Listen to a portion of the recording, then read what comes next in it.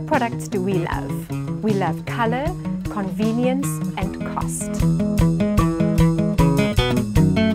We love discovering the latest trends, exactly what your child is going to need for their school year.